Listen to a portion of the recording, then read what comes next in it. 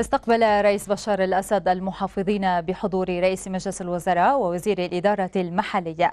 وأكد خلال اللقاء أن دور المحافظ يجب ألا يقتصر على تمثيل الدولة في المحافظة بل الأكثر أهمية هو أن يشعر المواطن بأن هذا المحافظ يمثله أمام الحكومة.